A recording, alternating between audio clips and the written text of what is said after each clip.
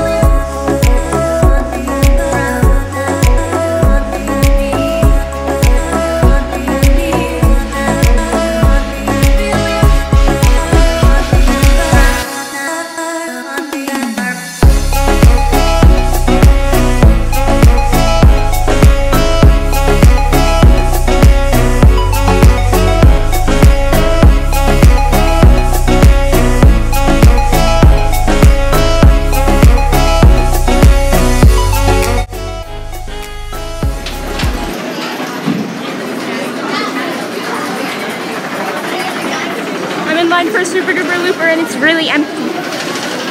Hey guys, it's Living from the Coaster Pro and I just rode Skyrush in the front and in the middle and Sooperdooperlooper and now I'm going on the Storm Runner. Now get ready. Here we go.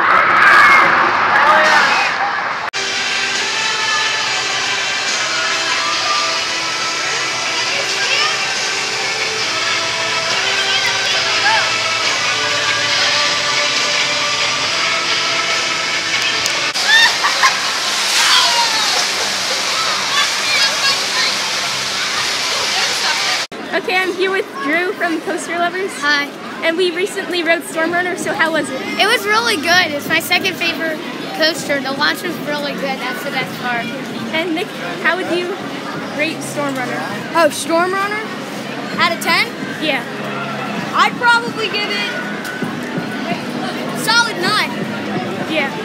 And now we're gonna ride Breakers Edge. I would rate it a 9.5. Come on, Breakers, I just supposed to be the first one.